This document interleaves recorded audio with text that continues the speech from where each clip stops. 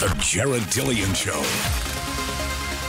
I'm Jared Dillian. This is the Jared Dillian Show. If you want to call to talk about your money, please call 844 305 7800. That's 844 305 7800. This is the Jared Dillian Show. You can also go to my website, which is jareddillianmoney.com. That's jareddillianmoney.com. Or you can follow me on Twitter at, at Daily Dirt Nap. Um, so you're in college and you have a paper due. By the way, you know, you know what I think back about college is that the uh, writing assignments I had were not that hard. like they, they weren't that hard. I mean, it was 10 page paper, double spaced. Like you can that's easy. 5 page paper. It's super easy. You can do that in like an hour. I don't know what I, why I made such a big deal about these writing assignments, but inevitably what happens is when you have a paper, you procrastinate. You wait until the last possible minute. And then you pull an all-nighter. so stupid. So stupid. Then it ends up being crap. Then you get a C. And then um, the same thing with a test. You know, I, I, the best way to study for a test is to study a little bit each day, and then you're ready for the test. Not you, not wait till the night before and try to cram. Then you get a C on the test. So I used to do this stuff all the time. I was a big procrastinator. Procrastination will destroy your dreams one day at a time. And I am a professional writer now. This is what I do. I'm a writer. And procrastination is the enemy of writers. And you talk about like the blank screen, or back in the days of typewriters, the blank piece of paper. And you think about a writer sitting there staring at that blank screen. What am I going to write about? And I, you know, the procrastination thing, I just don't, I don't have time for it. I don't have time for that nonsense. I have to write every single day. Every day I'm writing thousands of words. I can't, I do not have the luxury of being able to procrastinate. I don't get writer's block. Everybody says, What do you do about writer's block? I'm like, Okay, here is my cure for writer's block. I turn on the computer, I open Microsoft Word, and I start typing. That that is my cure for writer's block. I just don't don't have it. I just I don't have the luxury of dealing with that nonsense. And it doesn't matter if I have anything to say. Sometimes, literally, sometimes I will just start writing anything and I just see where it goes because I do not have time to procrastinate on stuff. Let's say you have a dream. Your dream could be anything. But let's say your dream is to go to grad school. And let's say you're 40 years old. You've waited this long to go to grad school and you haven't realized your dream yet. And this happens with a lot of people. Like life gets in the way. You get married, you have kids, you have work, you have church, you have all this stuff. And who has time to go to grad school?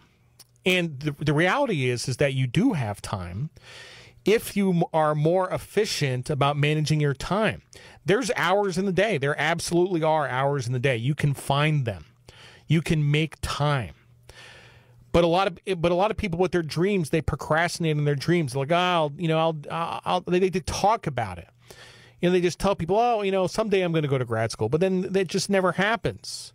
They just never end up doing it. Action is what is called for here. Action.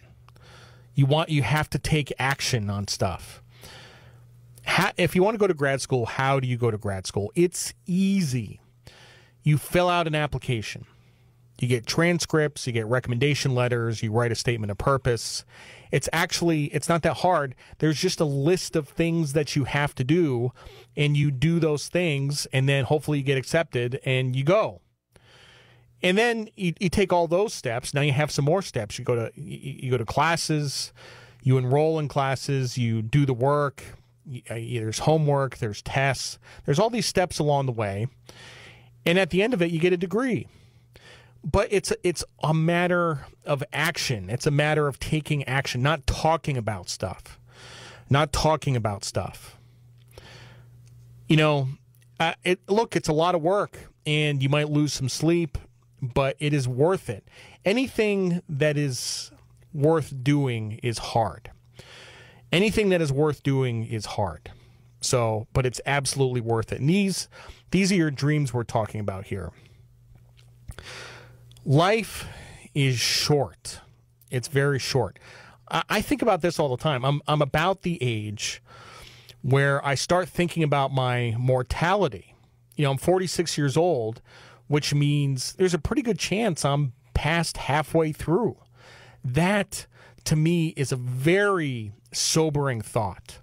You know, and then I, I sort of reflect back on my life up until this point, and I haven't always taken advantage. You know, it's funny for me to say that because people look at me, they're like, you know, you know, you've accomplished a lot, but I still I think about things that I could have done along the way. 2011, 2012, 2013, like I, those were a couple years where I was, you know, kind of resting on my laurels. I wasn't doing that much. You know, life is short. Learn to use it carefully. Think less of the future and more of today. Don't wait until next time to try things. Ask that girl out. Spend time with your parents. Hang out with your siblings.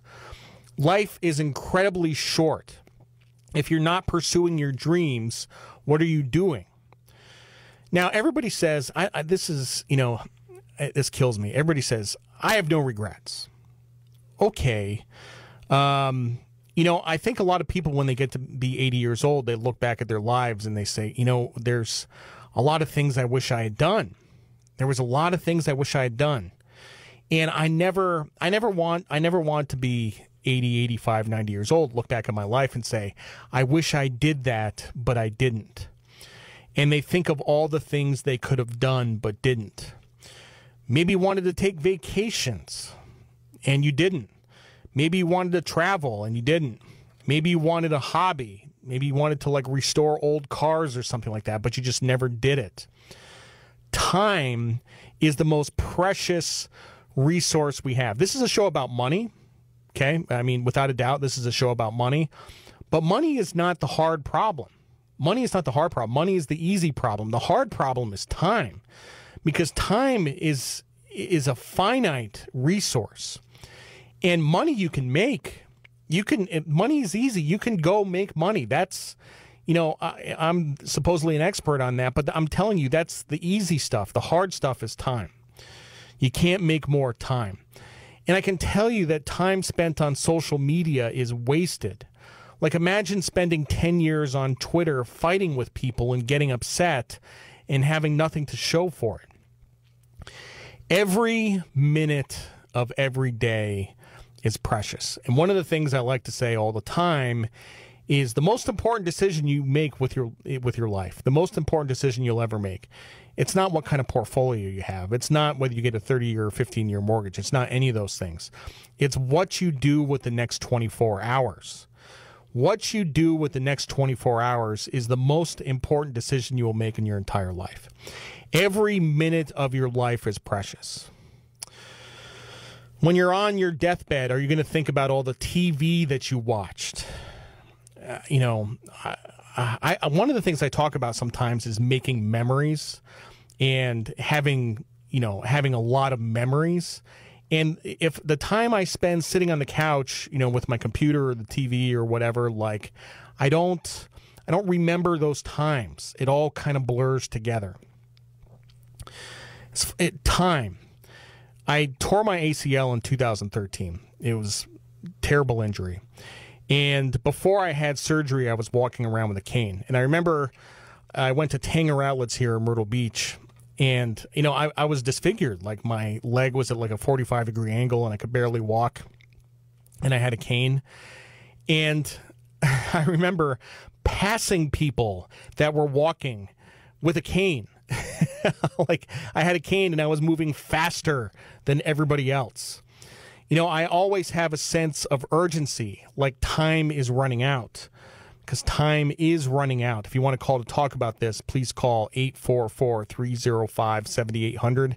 That's 844 305 7800.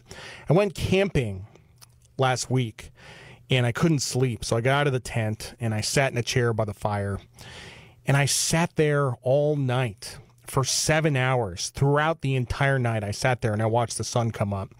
And I thought of some pretty crazy stuff. And I thought about time, how we have a finite amount of time, and about how life is precious. And I decided to turn it up to another level. I am running out of time. I am 46 years old and I am running out of time, but everybody is running out of time. That's the secret. We're all running out of time. So I decided to go back to grad school and get an MFA in creative writing because this has been my dream since I was 22 years old.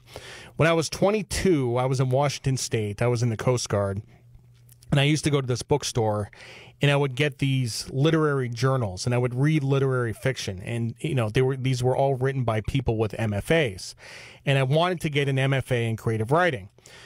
And I proposed this idea to my family and they said, "You're not going to make any money. You should do something else." And that's when I decided to get an MBA, but I never let go of the dream. I've always had this dream of getting an MFA since I was 22. So at age 46, this is what I'm going to do. And I'm probably going to have to give up some sleep, but it will be worth it because this is my dream and I'm not going to procrastinate on it any longer. Procrastination is the enemy. Procrastination is how you miss out on life. Life just passes you by because you're too scared to start something. What is this resistance we have to starting something? It is all about getting through the resistance. What is this force that holds us back? It is called resistance. Success in life is about breaking through the resistance. I'm Jared Dillian. This is The Jared Dillian Show.